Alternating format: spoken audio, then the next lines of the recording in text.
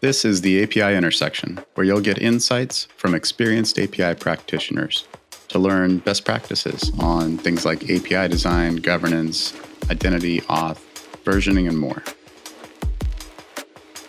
Thanks for tuning in to the API Intersection podcast. Uh, I'm joined today by my co host, Adam Duvander. Uh, Adam, you want to tell us a little bit about yourself? Yeah, thanks, Jason. Yeah, I have been in the API space for a while and work with API companies to reach uh, developers primarily externally. And I think a lot of those same concepts can be used internally to uh, to engage your own developers. Yeah, Adam's a bit of a API content wizard.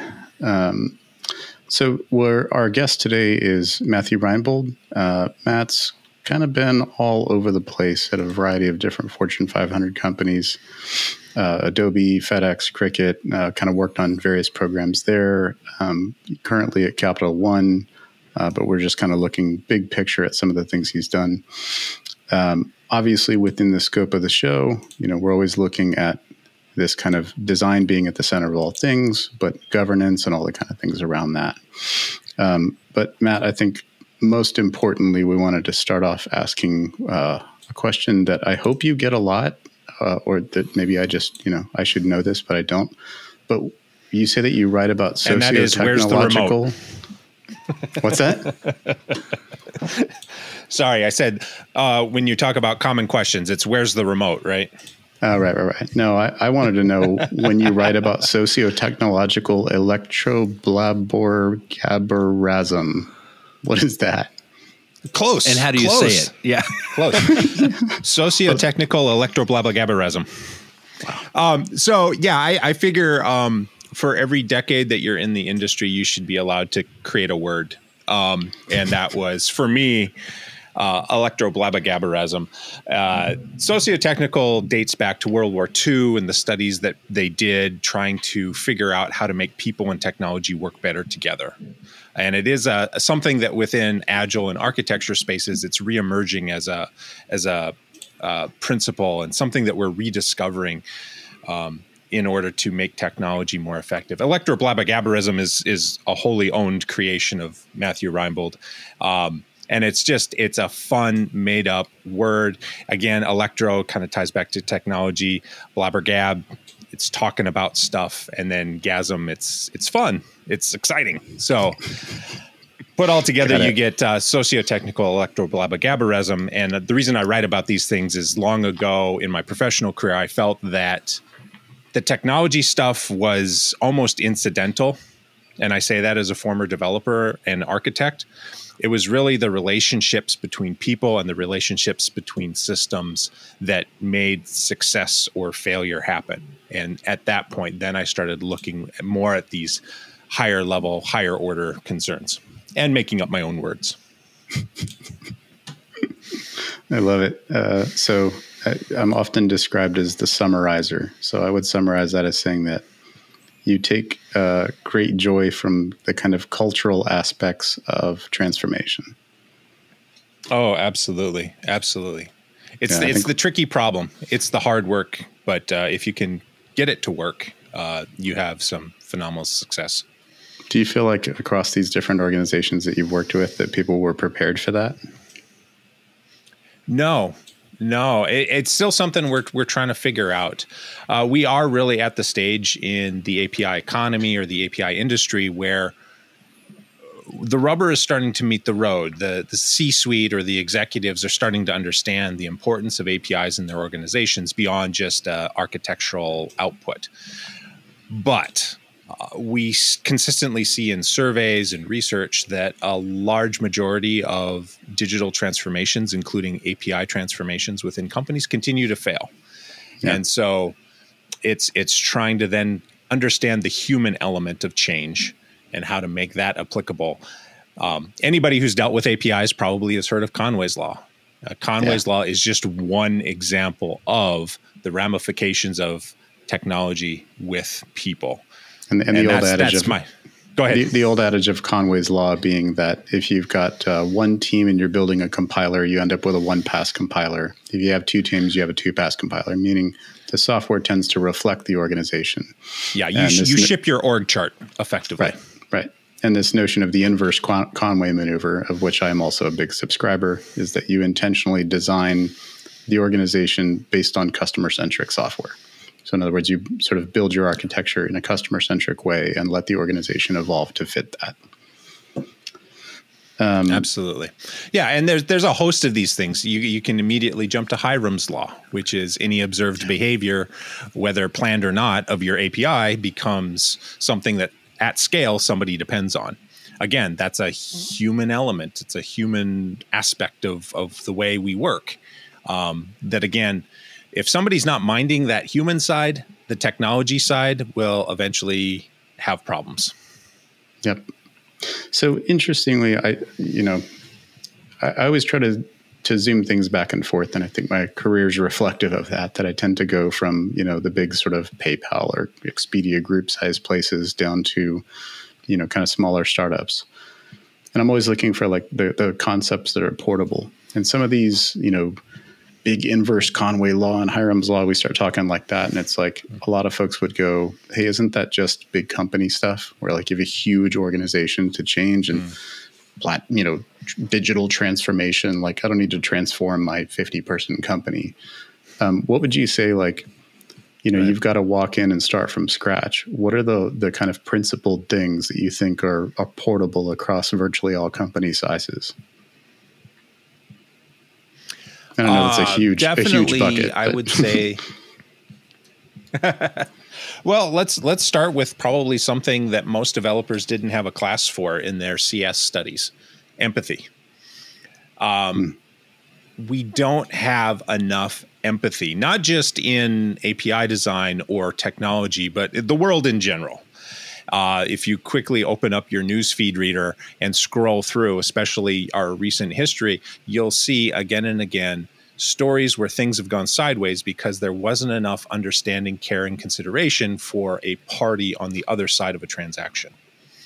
So, bringing that back to APIs, whether you're in a small company or a large enterprise, whether you're a single developer or a product manager with multiple teams, having empathy for the end user, having empathy for the person on the other side is absolutely vital. Uh, even if this is an internal API, it's never meant to be consumed outside the walls of a company. There will be somebody at the end of the day on the other end of that interaction. If you don't care for that person, if the API remains some automated output and it's somebody else's problem to comprehend and make sense and deal with whatever you're putting out there, you can get away with that for a while but your ability to scale, your ability to um, uh, uh, have all the ilities, uh, maintainability, grokkability, discoverability uh, will greatly be impinged because, frankly, the work was not done to care. And so, empathy, they don't teach it. It's something that I've had to learn the hard way all too many times, but it's it's something that goes a long way toward making an API better so, uh, you know, how I would kind of translate that a little bit is like, especially through this course of more service oriented or, you know, kind of microservice architecture over the last 10, 20 years, is this process of uh, kind of designing a system. And APIs are, are sort of the, the manifestation of that. But empathy is like the, the key thing to design, right? And is maybe what you're saying that for kind of you know the the budding software engineer learning that learning something about design and how we think about creating software and that kind of usability of what you build is actually in many ways more important than the sort of you know algorithmic precision or you know did it follow the right design pattern or that sort of thing and in fact i would argue design patterns are like right they're an anti-design pattern in many ways of comprehensibility um, when you talk about APIs, I mean, APIs essentially are an abstraction of complexity. And as software development has gotten more and more complex, what we've seen in organizations, large and small, is the necessity to hide more of that complexity behind an abstraction. Uh, many people have said it. I'll, I'll repeat it here. Complexity is neither created nor destroyed, it's just shuffled around. So, that act of putting complexity behind an interface is an act of compassion and yeah. care and empathy so that that consumer doesn't have to fill their headspace, doesn't have the the comprehension overhead of understanding the bits and bobs and the the horrible skeletons in the closet behind that particular um, piece of software. So, uh, you know, to to move forward, we are going to continue to see more and more APIs within organizations, whether as part of CI/CD cycles or moving to the cloud, or the complexity will keep growing. So it's absolutely essential that we have compassionate designers in place that are able to continue to look at where are things getting too complex where is it too much of a, of a head job to, to comprehend what's going on here and how can we safely store that that complexity behind a well thought out well designed well maintained interface so that we can continue to get work done at scale. So for a technologist that hasn't had a class on design or on empathy, how do they even begin to know what needs to be abstracted, what needs to be hidden, and what what parts to share? Uh, it, it, begins with talking with people. Um, and unfortunately, I've been one of those developers who's been like, "Oh, I have to pick up the phone. Oh, I have to go have a meeting. Maybe I'll just put something out there, and if they if there's a problem, I'll I'll hear about it, and then I'll fix it."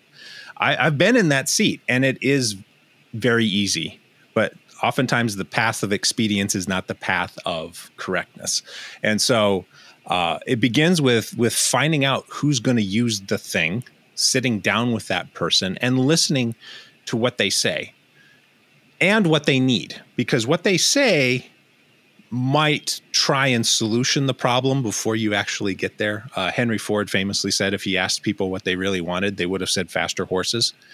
Um, you know, there needs to be some some thoughtfulness in how you you go about these things. It's it's not like you're going to go to your integrator and get a bullet point list that you implement carte blanche, but um, it begins with having those conversations and then setting up the iterative cycles to get that regular feedback. This is something where doing like API design first becomes so powerful. Uh, becomes much easier to change something when it's text based and and and visible than it is like having coded the thing and going back six months later and finding out that you missed something fundamental. So being able to to show something, get some feedback, incorporate the feedback, go back, mock it up, try it again um, getting into these virtuous feedback loops is absolutely essential. By the way, I, I, apologize for what might sound like the Nazgul outside my window or perhaps a pack of hungry wolves. It's quite windy here today, so if there's weird howling noises, it's uh, I'm safe. It's okay. Um, so, uh, I mean, bringing it down to earth a little bit. Um, and by the way, I you know I think you and I have probably read each other's work over the years and, and seen each other's bits enough to know that like we probably agree on virtually everything we're at this level. Um, zooming it down though to like I always want to put myself in the shoes of, hey, I'm a you know a more senior developer at a small place, or maybe I'm an, an architect at a big place, and I know these things are theoretically possible, um, but I need to justify this. I have to say, hey, you know, I think we can do better with our APIs, whether it's internal or external. But you know, some of the things you're saying is, well, we'll just sit down and have a conversation. Like that's not going to be very convincing. No one's going to green light that, right? Or you know, we just have to change everything about the way we think and work. Um, how do how do you think about you know helping kind of put that strategic perspective together for somebody who knows what's possible but doesn't know how to explain it in business terms? Sure. Uh, well, obviously, if somebody approaches their executive leadership and says, We are going to change everything. Uh, alarms will go off, uh, banners will start to unfurl, uh, you know, lights will start to flash. Like that is a huge red flag for any leader who's probably already dealing with a tremendous amount, guaranteed a certain portion that you have no awareness of. Um, so don't do that. don't start any initiative by saying we're going to overturn the the apple cart. We're going to burn all the ships for for now and all time. Um, starting small and incremental is absolutely the way to go. Um, be, going in anywhere and and proposing new behavior, new change is a skill. the The good news is is that it's a skill that can be taught. So, in addition to starting small and incremental, you also need to be aware of of the system that you are acting upon. How do decisions get made? How does power flow? Both how that's stated formally and how it actually happens. How can your initiative make your manager and your manager's manager successful in that system? I guarantee that if you just walk into somebody's boardroom and says do this because it's good for me or for some theoretical idea without connecting the dots on how it gets your manager to where they want to go it's it's likely to be a very short conversation. So understand the the system dynamics that you operate in. And when i say system that sounds fancy it sounds highfalutin but it could be as simple as understand the hierarchy and, and where money comes from. Be able to connect your story of of whatever change you want to make whether that's api design first or uh, testing or or uh, single gateway endpoint registration or whatever it happens to be tie that story to what will help the executive what they're already doing. And there's probably an aspect of that in there. And then iterate on that because you're probably not going to knock it out of the park on that that first try.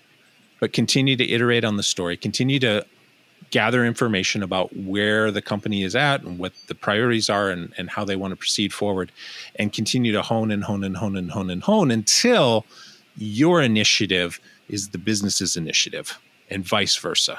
They're copacetic, and all the leadership from top to bottom, everybody that you you need support from, that you need that accountable executive on board for, is aligned and shaking their head and saying, "Yeah, absolutely, this is how I win." Yeah, it's interesting. Somebody told me once, um, you know, eh, like I think spoken like a true architect, right? somebody who's got that background. Somebody told me once that like being a great architect is like you know being a little CEO or uh, being a little CTO, uh, but you're you're selling ideas, right? Um, hmm. What's interesting to me is is platform when we unpack what that means, which is usually the frame that this stuff comes to life in, right? Platforms are based on building a collection of APIs. That there's kind of two different sides to that world. I call it like the MIT version and the Harvard version of the world, uh, which is MIT is this sort of you know decomposed modular systems and then uh, the Harvard version is marketplace theory. Um, so, in terms of like that getting started, you know, where would you think about from, you know, talking to these business leaders? Are you justifying it on sort of start from the cost cutting measure or the sort of, you know, acceleration aspects of decomposing your system, which we all know is longer term, slow down to speed up? Um, or is it, you know, that there's some external factor that makes this compelling? And I guess out of the two approaches, which have you seen sort of get better traction to start? It's going to vary quite a bit by the organization that you're working in. Um, the, there different stories resonate differently with different cultures and different people. So, uh, you know that that huge caveat out of the way. I am somewhat suspect of any cost savings story because what lies at the end of the cost savings is zero. It should be free. And uh, while it's it's something that can show immediate benefits and is easy easily quantifiable, you can get yourself caught into a nasty negative feedback loop where it's just expected that at the end of it, um, uh, you know, all the cost centers should be should go away because they're they're negatively impacting the bottom line. Um, instead, I much prefer pursuing lines of conversation that talk about the positive uh, capabilities that can be added, that can be um, presented to an organization. Um, and and some of that might be something as simple as shortening the the feedback cycles from uh, shipped software to when the feedback can be reincorporated back into the software. So we talked previously about APIs and hiding complexity. So in theory, if you're decomposing a monolith and you're creating a set of, of APIs that are abstracting complexity, now you've given those individual development teams some autonomy to ship new versions. We can talk about versioning later, but shipping new versions and having speed and having the ability to to um, uh, take some control over their development pipelines and, and producing things. And in the process, being able to put something new out into the world for a new set of consumers, whether that's a product or experience, getting that feedback and then using that feedback to subsequently tailor the next version. That is quantifiable, that's demonstrable, and that can also be um, raised up to the the C suite to demonstrate this is what our API platform is able to deliver. It's this this um, more agile, depending on how you use agile in your organization, but it's this this more um, flexible and resilient type of approach to meeting marketplace demands. And the reason we can do this is because we've we've taken this monolith where we all had to march lockstep forward, and we've we've broken it into this this platform. But again, um, huge caveat depends on your organization. Yeah, I feel like a big component of it is, and the difficulty for a lot of folks in, in typically engineering, where these things can often be born, is understanding enough about how your business works to mm-hmm. know how to justify what makes sense to do first, right? Um, so, like, what is actually hurting in in kind of the execution of the business that this modular approach, this kind of you know decentralization of things, um, and or the externalization, depending on which way you go, um, which one actually helps the business and, and how to justify that. Uh, I guess I'm just always empathetic uh, to the plight of folks who know it's good, but struggle to articulate how. And I was trying to kind of think about how to help them explain that. Um, well, and maybe a uh, going through like an example of of how you know you said that's quantifiable. Like how specifically would an individual in a company who's wanting to demonstrate this how would they quantify it? Maybe even initially to be able to bring and say look we've been working on this and we have increased it by this much. How would how would they track that? Uh, well take for example again hypothetical, just throwing stuff out here. Take, for example, something that returns um, transactional information. So, in order to enable a third party, you've probably got things like your authentication API, which may be a different development team than that team that owns the transactions data, which may be different than the team that um, does things like your security and your oversight, just making sure, like for the California Consumer Privacy Act or CCPA, that there isn't sensitive data that's going out, or maybe that maybe that team is responsible for tokenizing data. So, in this simple example where we're just retrie- retrieving transactions that have happened, we've already got three development teams doing vastly different things.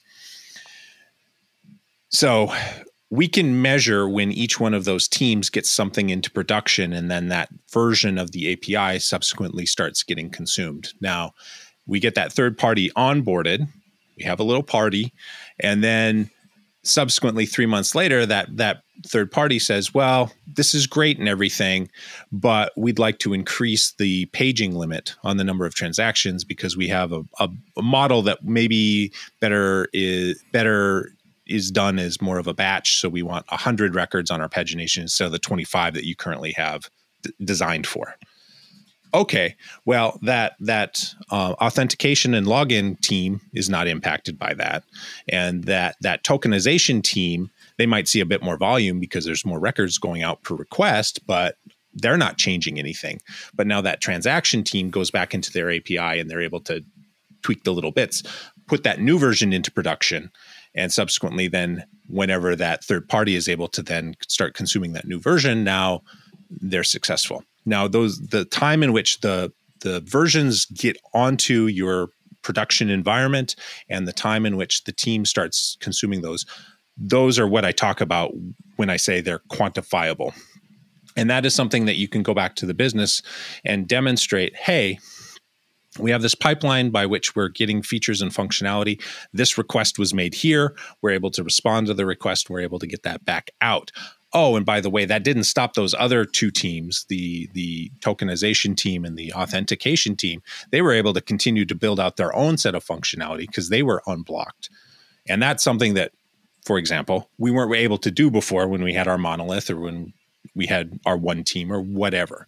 So, um, that's that's the example that's on the top of my head.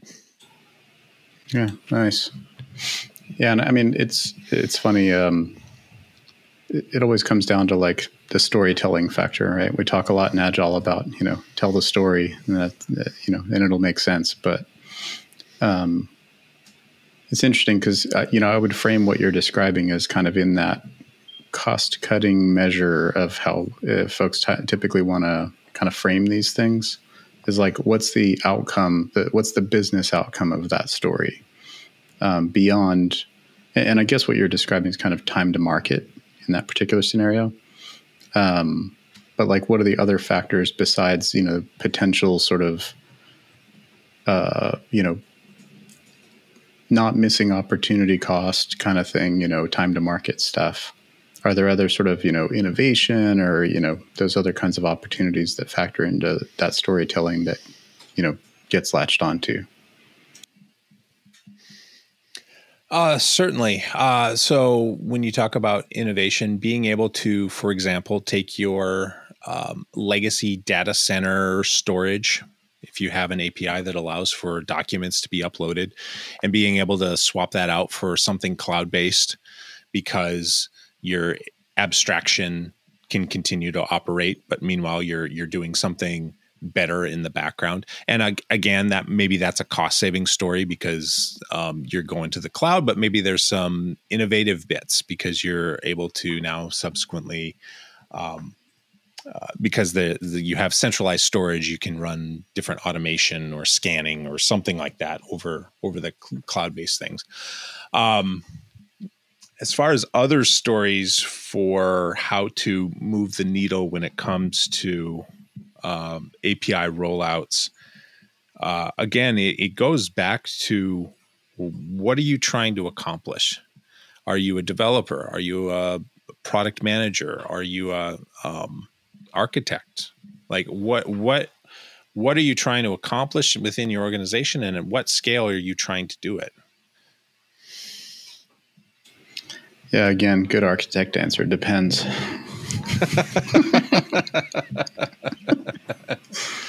um, all right, I, I guess uh, shifting gears, let's let's presume that you know our our listeners have had some success and and have some kind of program and you know in a smaller company program is probably not a word used but uh, you know we've got some way of doing things and building apis and we presume that in most cases this is framed around whether it's called microservice or not, that there's multiple teams building uh, different functionality and different APIs that we want to come together and feel like one thing. And dare I use the G word, governance becomes a thing, right? Um, what do you think are like the the fundamental building blocks, um, you know, to getting that ball rolling? And I know you're going to give me a depends answer, but uh, I certainly want uh, I'd love your like what has tended to work out the most. so, so how do you start a governance program? Um, the the first step is identifying what what pain or problem you're trying to solve. Even in your question, you you talked about microservices. And I would be willing to bet that if you talk to four people in your organization and ask them what microservices are, you'll get six answers. It's it's ambiguous and people probably have some definition in their head, but nobody's taken the time to go ahead and make it explicit. Governance for me is not the rules or conditions or policing of an organization. Governance for me is how we relate to each other And a big part of how we relate to each other is our language. So you can start a governance program simply by by establishing a community of practice. Hey, I'm creating APIs, you're creating APIs.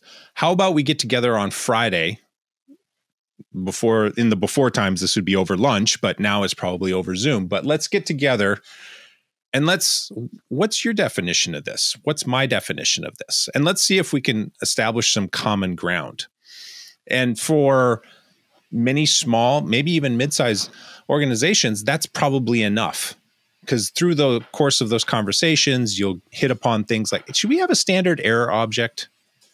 Would that make things easier? Could we actually build some kind of uh, framework that takes action based on certain things that come back in that error handling? Huh? Yeah, maybe we could. Okay, let's let's think about that. Um, you know, those kind of informal conversations that that occur naturally uh, because that forum or that expectation was created might be enough for your organization.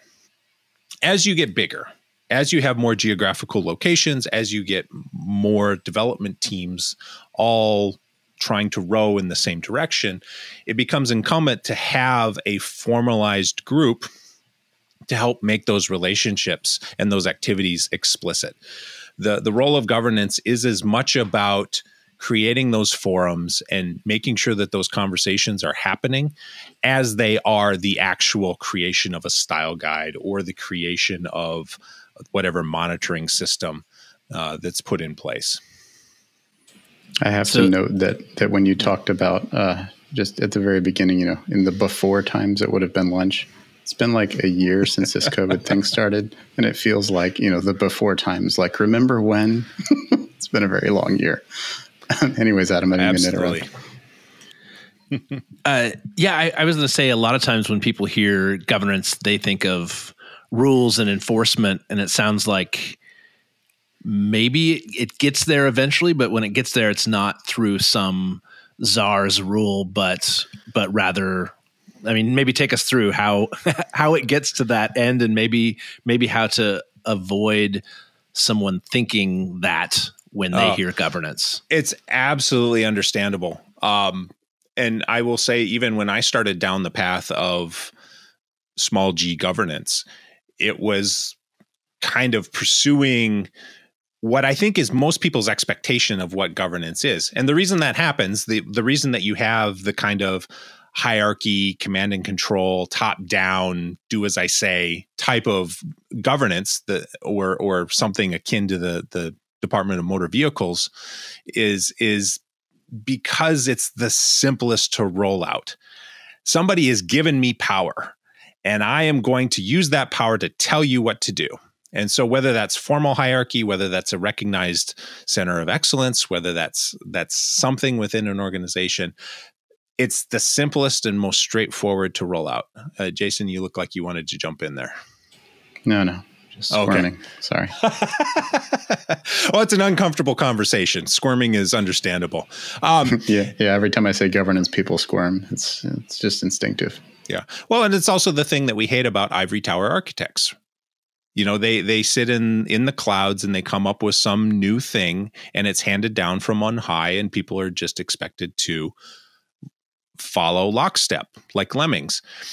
We have had so much happen in the software development culture in the last two decades that has been all about empowerment, all about independence, that to continue to have these kind of governance structures you can you can understand where the friction then comes from. These are people that enter your org with an identity of being a highly paid highly sought after professional and then all of a sudden they're confronted with a group that tells them no we know better. So these were some of the the the things that I was wrestling with as I started trying to do governance and trying to deal with APIs at scale and and and meeting some of that resistance. Uh, that that put me down a path of okay, obviously we need some mechanism to make sure that we're creating consistent and cohesive behaviors. But simply telling people do this, don't do that, or I'm going to get out the executive hammer on you. Uh, that wasn't meeting the bar. And so then, then that's when I started down the path of more collaborative um, examples from across the industry. Things like communities communities of practice, things like the virtuous feedback loops, things like engaging stakeholders and co-ownership of standards documents, things like coaching and training before um, you know banning and shaming.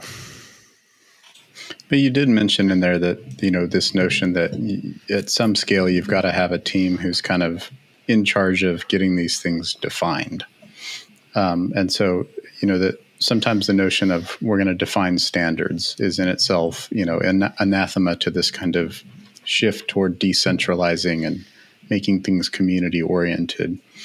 Um, so I guess one, uh, you know, sort of backing up what kinds of things you would expect uh, a team to define and how do they sort of help you know get that rolled out in a way that right. sticks? Yeah tying back to what we were talking about earlier it's imperative absolutely vital to start small. Um, if you say that okay it's time for standards we're going to write all the standards for all the groups for all time it's going to fail it's going to fail because your governance needs to be as adaptable and evolvable as your organization.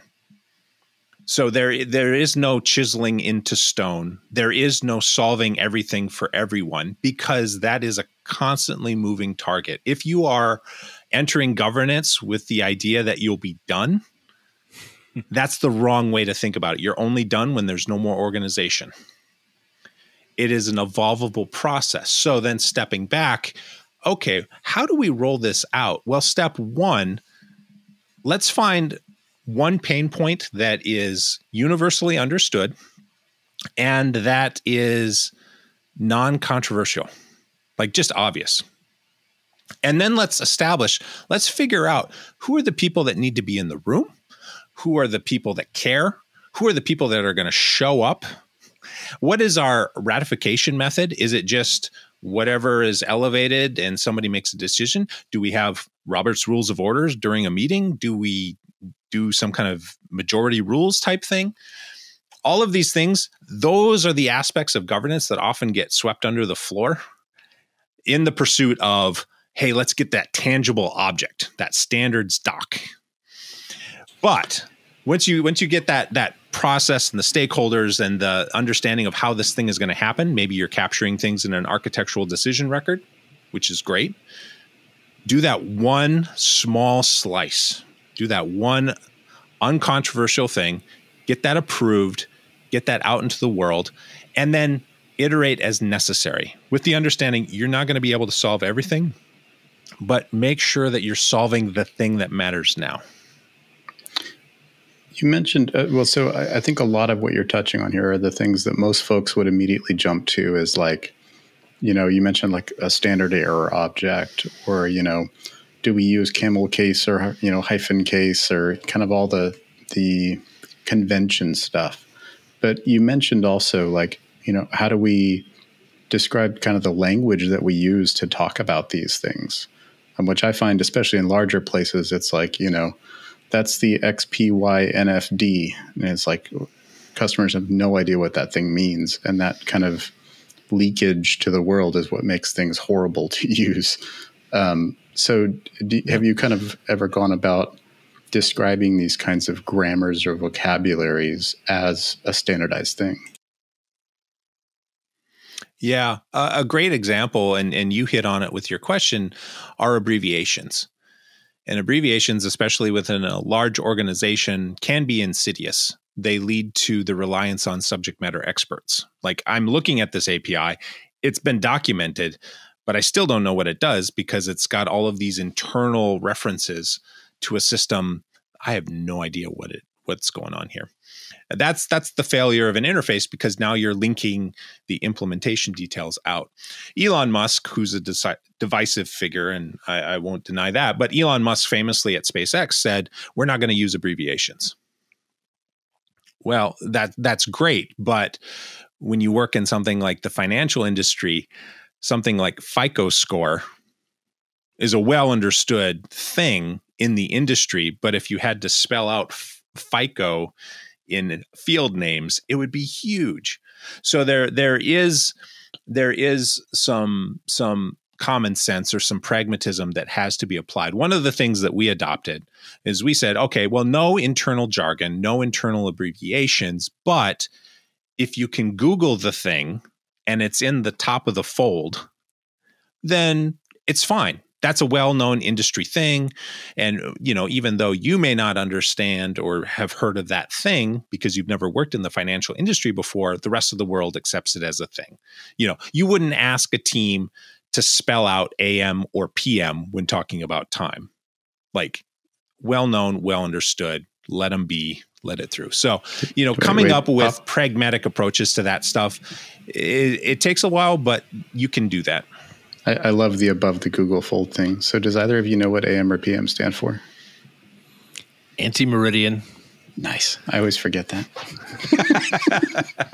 uh, and then P meridian. I want to know what the X in SpaceX stands for. Yeah. I'm sure it connects to some other teaser game of of uh, Muscovian acronyms. Uh, there's all kinds of fun theories about the uh, the progression of Tesla models, you know. Um, yeah, the S, anyways. the S, the E, the X, and the Y. Yep. Yeah. Yeah, exactly. you said it, not me. Um, so um, I'm I'm curious. Uh, oh yeah, go yeah, ahead. Go ahead. So I'm curious. You touched on sort of these terms and how they don't mean anything externally. And one of your examples earlier was a third party asking for more transactions. I'm I'm curious how you see sort of internal API usage versus this sort of partner to partner relationship and how that changes all of this that we've discussed if it does. Uh, changes in what way? The ways in that you would approach in the management, in the design, in the all of the above. Sure, in all in all of the above, yeah.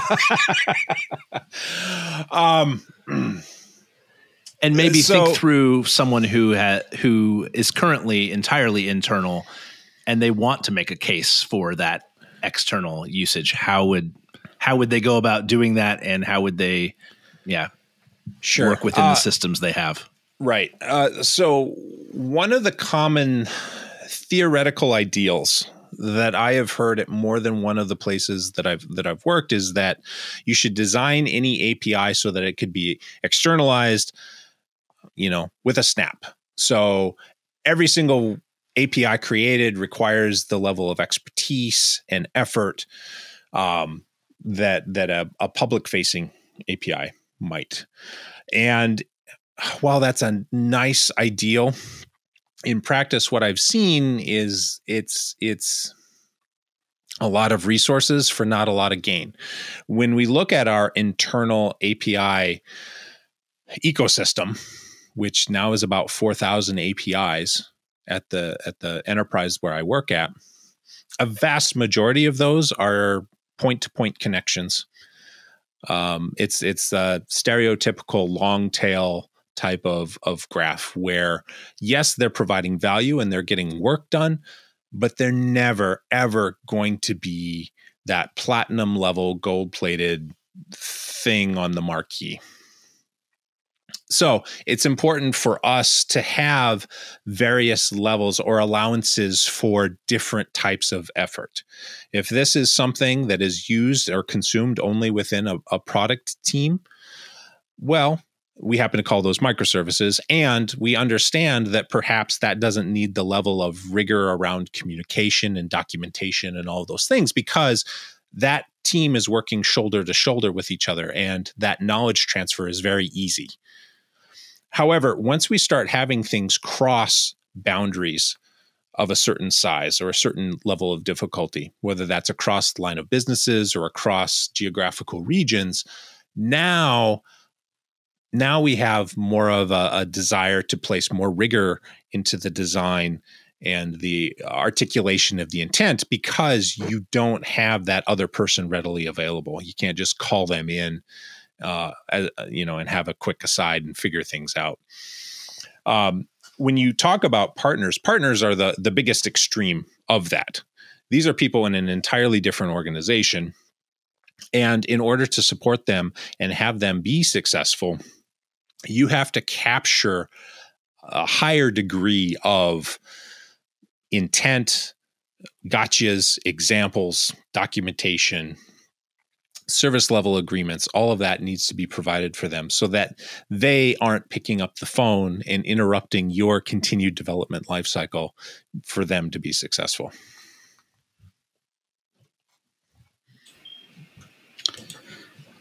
Um, you know, it's interesting on trying to draw that line of when you should and shouldn't apply that full acumen of external uh, externalization thinking. And I, I you know, I, have had the same experience as you. It's like, you know, it's it's a great ideal, and I I recommend it to everybody. Is like build like you want to could externalize at any time, but in trying to find a line in there, I think in some ways it's is this a word that customers would use that we would use to describe what this thing does, right?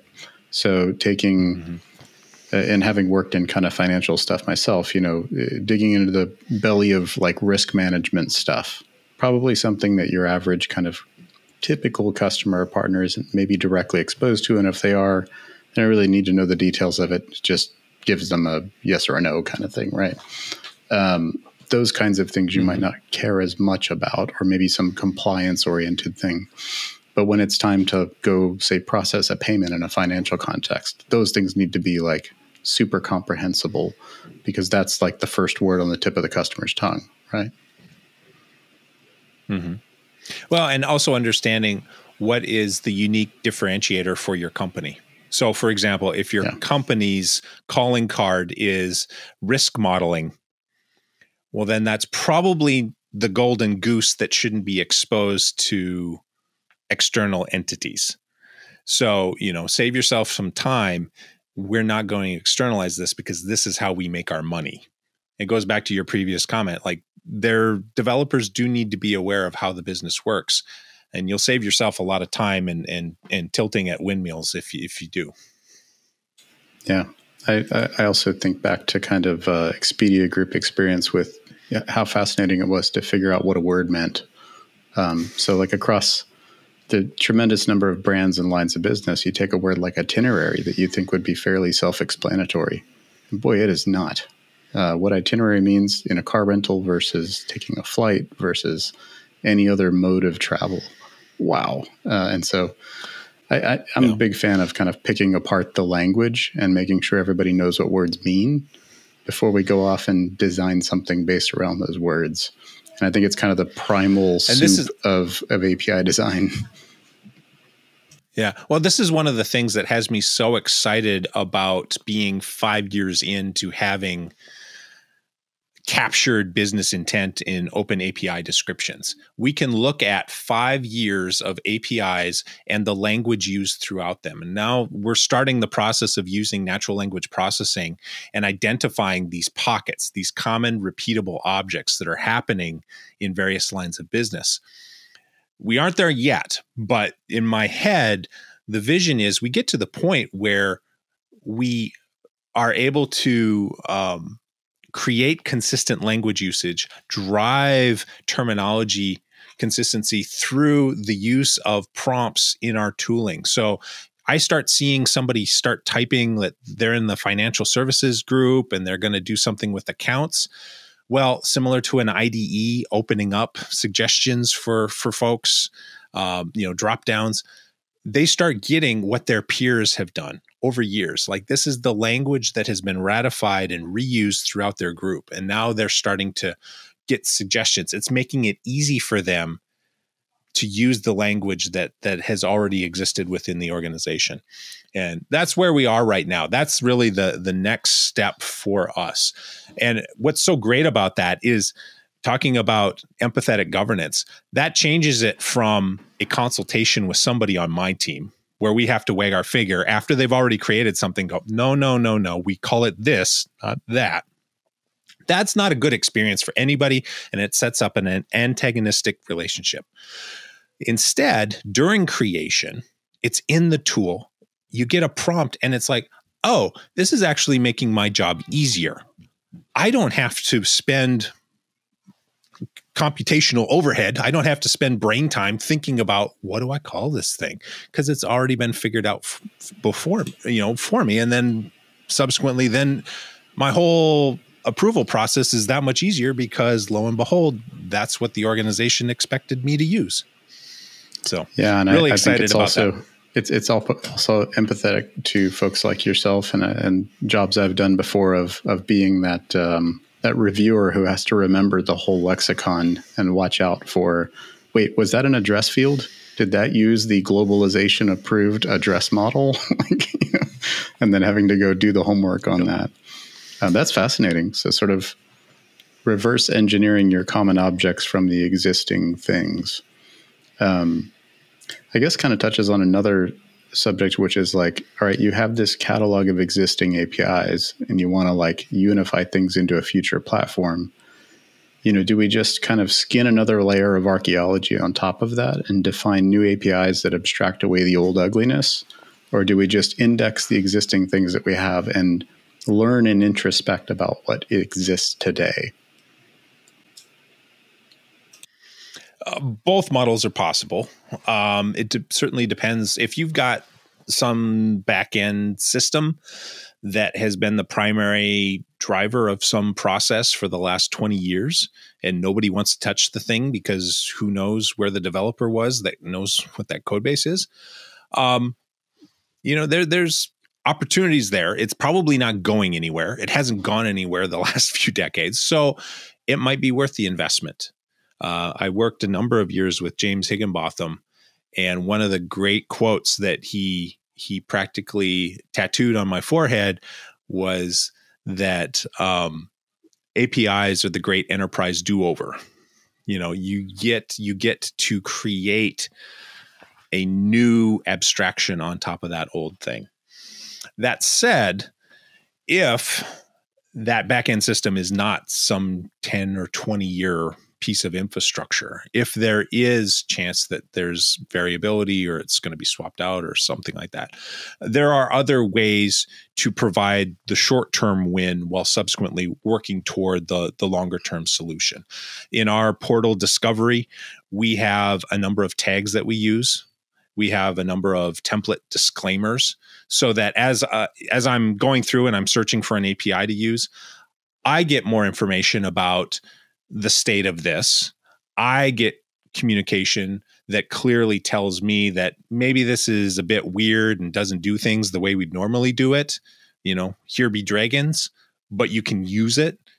And here's the roadmap, here's the path for deprecation. So as a consumer, I have all the information before I go down that road. And more importantly, if I'm looking for examples or ideas on stuff that I should use in my design, I have it clearly articulated that yes, this doesn't look like other things, but that also means don't copy this verbatim. There's a reason. This is a legacy migration. This is, uh, um, you know, it was determined by an external third party that it needed to look like this. Like we we have the ability to clearly communicate the expectations and when things deviate from those expectations. So I think you're touching on another assumption here, which is that regardless of whether you've designed the, the new archaeological layer to hide the old sins or you've indexed what you already have or some combination thereof, that making that index sort of discoverable and visible to the organization is a thing, right? Mm, yes. Yes. Um, and I'm curious, like, when you think about, you know, kind of different scales of organizations, especially kind of smaller places where maybe you don't have tech writers on staff who can help kind of put together that documentation. Um, you know, what are some practical ways that you would look at kind of, let's say, measuring the quality of documentation or kind of evaluating whether or not what you have works? Um, that's a great question. For a vast majority of our API portfolio, we do not have tech writers involved. The, the tech writers fall into that category of higher level effort, higher level of resources for the important use cases. A vast majority of the documentation is auto generated based on an open API document. And the reason that that open API document is so important is not just because of documentation, but it's also the machine parsable solution that then is subsequently allowing for automation on our gateway. So when something is is approved through our lifecycle process, then that document is parsed, the endpoints are determined, and then subsequently registered with the gateway. So then the team is like, oh, well, now I just need to go in, take those endpoints, and connect them to my executable in the cloud somewhere else. All of that is is enterprise level solution.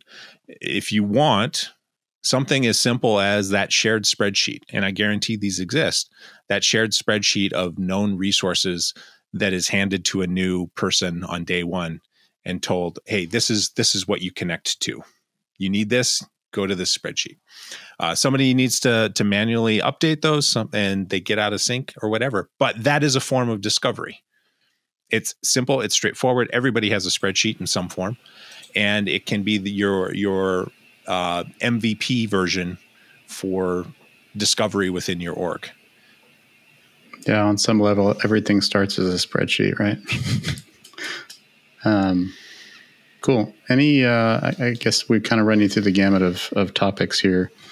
Um, I guess any other sort of you know thoughts of wisdom on again my my heart always being kind of uh, aimed toward folks who are trying to figure out how to get these things off the ground and where to get started. And gosh, this is all sounds great, but like you know, where do I get the ball rolling? Um, and, and, I think you touched in there on some level of this, you know, kind of adoption matters. If if people are going to use it, it's going to be important, and that's certainly a, a good driving factor. But you know, there's standards and there's all these discussions and communities and all this stuff. How do I get going? Uh, um, I, I, I agree. It's it's I, I I know that people can quickly get overwhelmed. Uh, you know, for example, I had a uh, machine learning person reach out to me on LinkedIn, and they've they're a 10 year professional. They've been doing AI for quite some time, but now they've been told they need to create an API. And it's like, where do you start? Oh my gosh. And unfortunately, our industry doesn't have the one way to start you wouldn't point somebody to Fielding's essay. um, uh, so you know that is something that that I try to address with my newsletter. I write a, a newsletter several times a month called Net API Notes, where I don't try and be comprehensive. I, it's very much trying to only cover the best of what's out there and what what people are talking about. But I'm I'm seeing little pop ups about server connection. Are we still good? Yeah, I was getting that too. Yeah. I think we're okay Yeah, that's now. strange. I was too. I I thought it was just me. um, so as, as, far as getting started, like uh, I, I, I think you're stumping me. Uh, the this the same yeah. the the the same. I struggle with a, this answer too.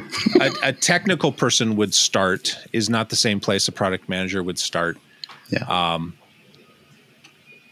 Yeah, I I'll do a plus one for Net API Notes. I'm a longtime subscriber, and for people who are really enjoying this conversation and what's uh, what Matthew's bringing, I would say subscribe there, and you will you will get the best of the API space a couple times a month. I was going to say every week. uh, yeah, actually, I, I, I, take I take some weeks off. I, am not like clockwork, unfortunately.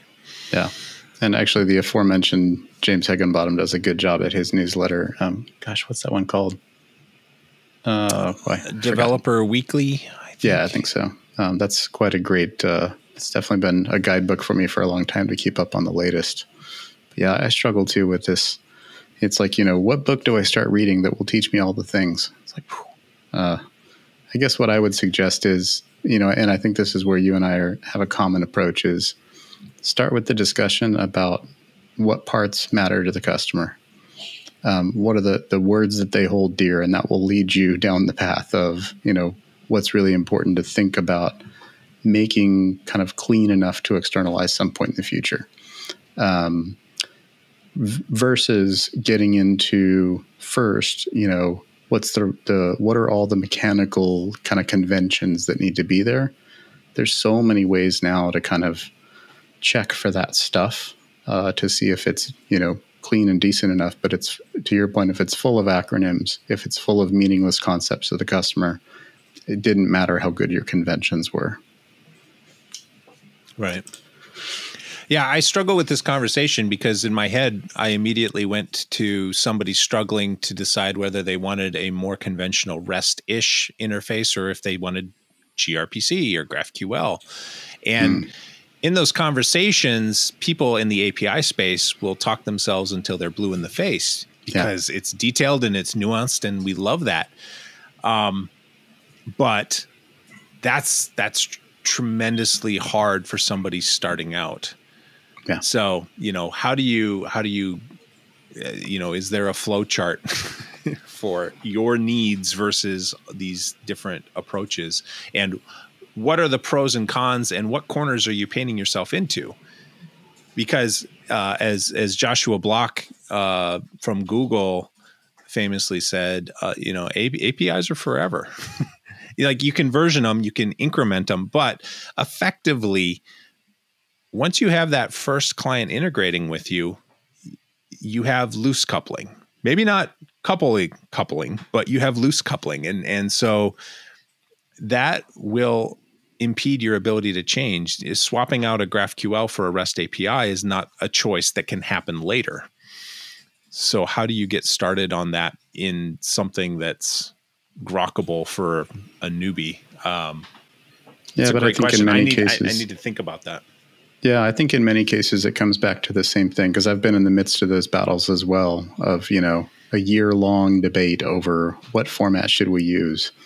And it's like, you know, pizza and beer can solve a lot of problems in software engineering. And that is to say, invite a group of people you think would want to use these and ask them what they want, you know, and just lure them with pizza and beer.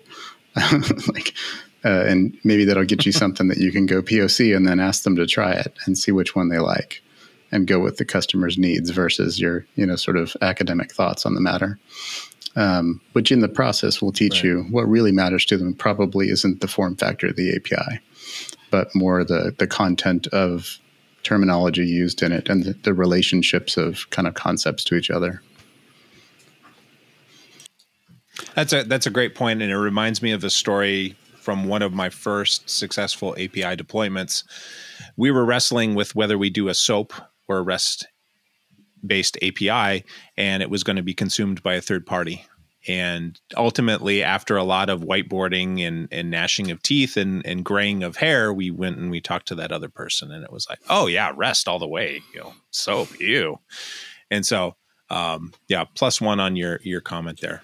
Go talk to yeah customer, find out what Which is, I think, to to bring it full circle on our discussion is back to that kind of empathy, and you know, I kind of usually frame as customer centricity. Not to say you know the customer is always right. To your Henry Ford quote, right? Don't just do what they ask for, but figure out you know what job they're trying to do, and uh, you know really understand it.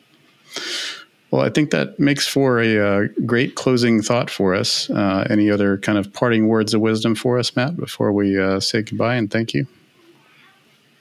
No, this was great. This was great. If people want to um, talk about these things, uh, I'm very open and accessible. You can find me on my imaginatively named website, matthewreinbold.com, uh, where you'll find uh, links to my Twitter, my email.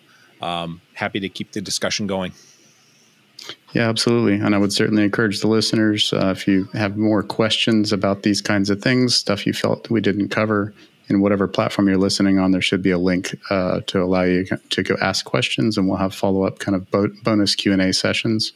Uh, and certainly, we can help reach out to uh, you know Matt to dig into some of these things if we didn't get uh, get to the point that you were looking for. But I guess with that, uh, Matt, thanks so much for joining us. Uh, Adam, thanks for helping co-host and asking yeah, smart questions as always. And thanks everyone for listening, guys. Thanks for listening. If you have a question you want to ask look in the description of whichever platform you're viewing or listening on, and there should be a link there so you can go submit a question, and we'll do our best to find out the right answer for you.